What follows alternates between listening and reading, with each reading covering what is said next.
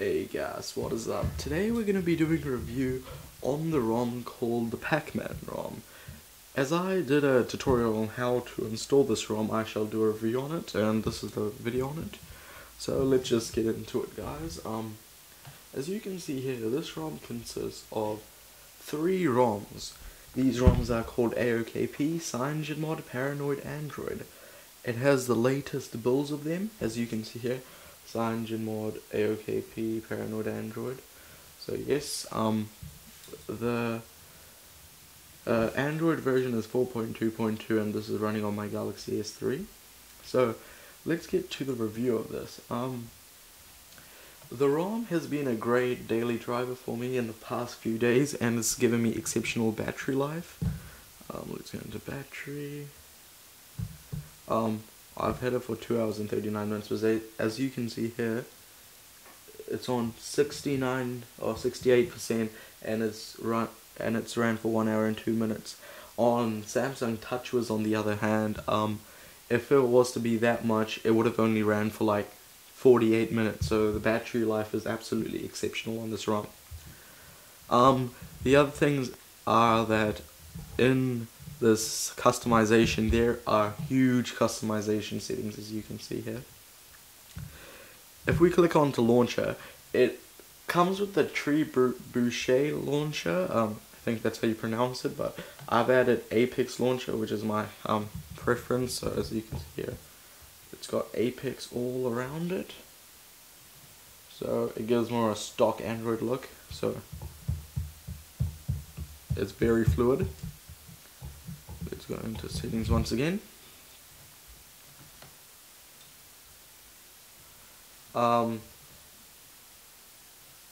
so let's go into lock screen. Um, you can choose through many, many options. As you can see here, let's go into screen security. You can choose the screen lock. So let's go into slide. You can choose a bundle of these settings. So yeah, let's go back there's automatic lock, power button, instant, menu unlock, and home unlock. So um, menu unlock basically does so. So you press the menu button, it'll automatically unlock the device. See, automatically unlocked, and you get what I mean now. And when you um, it says vibrate, so it vibrates when you unlock. So that tick. Let's go into themes. Um, there are a lot. Uh, this is coming from CyanogenMod 10.1, so the theming is absolutely great. Um, there is a stock Android theme, and I have chosen a theme for Minogen because it's a very flat and matte theme. It's very minimalistic, as you can see here. The icons on these are absolutely beautiful. These ones, one, two, three. And the theming is great as well. So that's what I like about this theme. So check it out guys. I will link you down below. And let's go into settings. Let's go to system now. This is the CyanogenMod 10.1 settings so let's go into status bar and you will see a whole bunch of it the settings. You go quick pull down. So go from the right it all comes up like that but when you go from here it'll come up like that. So that's good. And um, let's just put that to off again. So um, another thing is that um, you could do the quick pull down. Okay, wait. Quick settings is always enabled, so quick pull down with the if no notifications are present.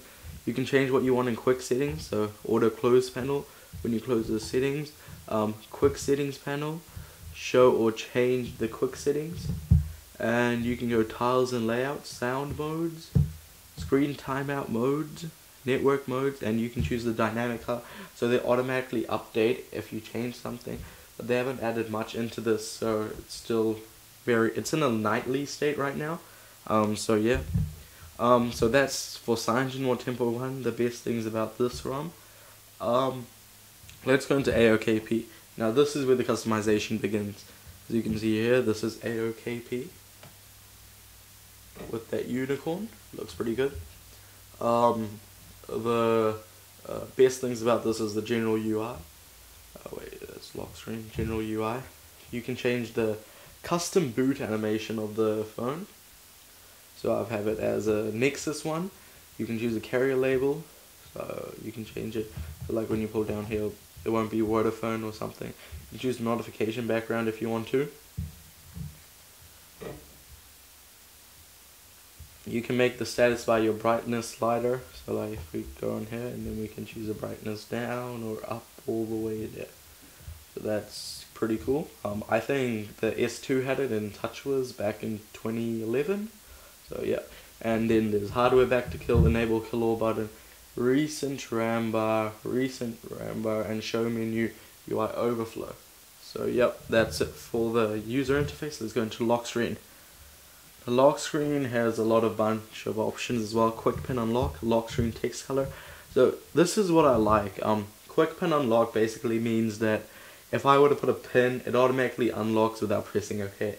This is something that I liked on the iPhone, but Android you have to press OK. So that's pretty much a waste of time. So I didn't like that. You can now go lock screen battery percentage on the lock screen. Hide initial page hint. So like when I'm on the lock screen, you can see here. It, it, it like stop the page hints let's go back. Um, you can go minimize lock screen challenge enable lock press to unlock. Use widget carousel. You can go volume wake volume music controls. So like when you're playing music just long press to skip tracks and that's good. Um, allow all widgets. So um, allow all widgets basically does that all the widgets that you can get on home screen, you can get on your lock screen. So that is really good because um, stock Android 4.2.2 does not allow that. So this is a great customization option. Another good thing is the navigation bar. I don't like it and I haven't found a way to get rid of this navigation bar.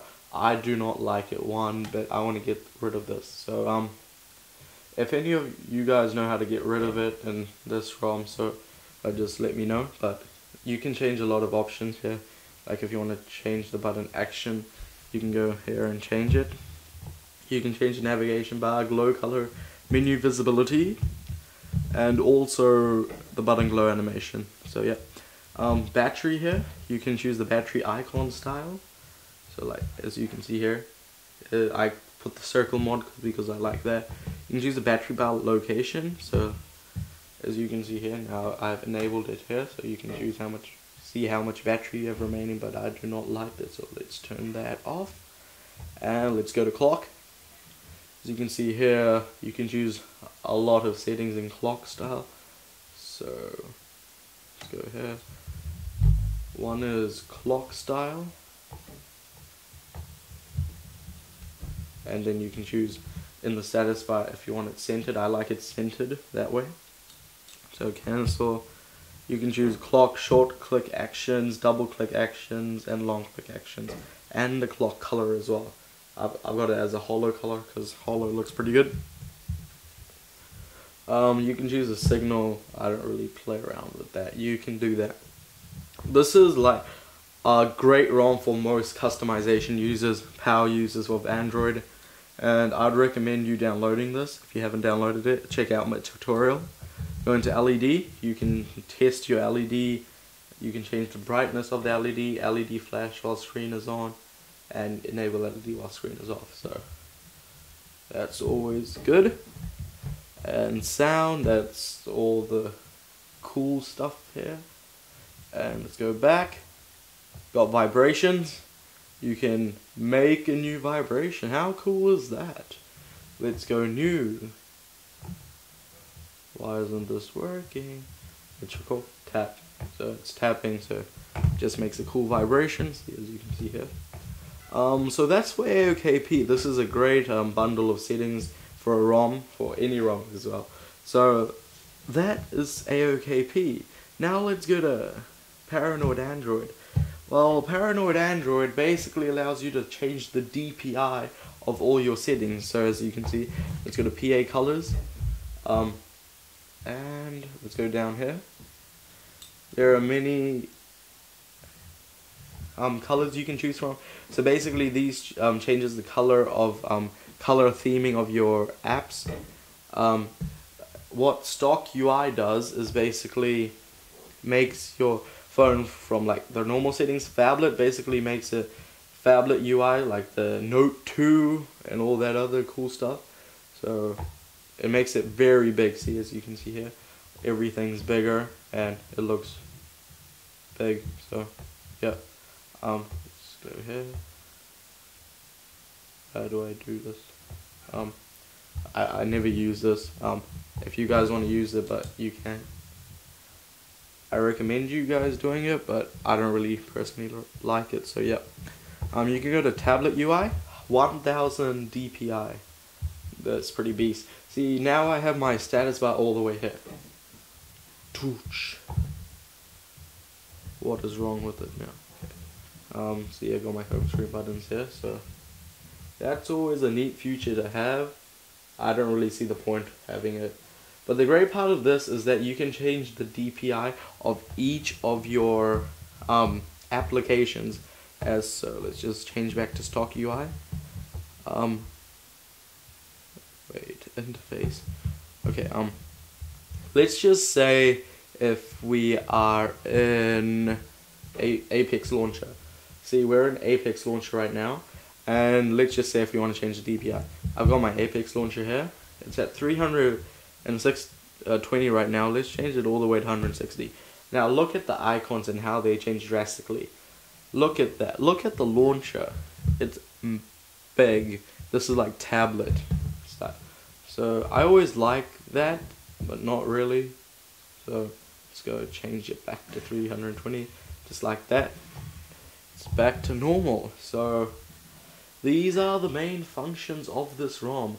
Lock screen, theme, system, ROM control, and hybrid properties. Um, this is running 4.2.2 Android with all these cool lock screen widgets everyone loves, don't they? And of course it's got the camera UI here. Beautiful 4.2 touch launcher. So yes, um, let's go back to Apex launcher and it's very fluid and fast as you can see here.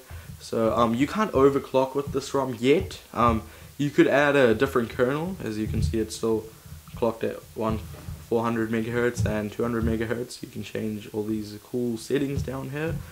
I don't recommend you messing around with them if you're not knowing what you want to do. And of course you have to be rooted for this ROM. And yes guys, that is the review of my ROM. So I like this ROM a lot, but there are a few cons like this um, nav bar here, which I do not like, and PIE controllers um, here as well, but I've disabled it as I do not like it either. So yes, that's the review of my ROM. Thank you for watching. Please like and subscribe and comment.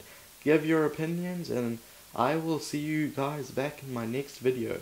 Thank you. Goodbye.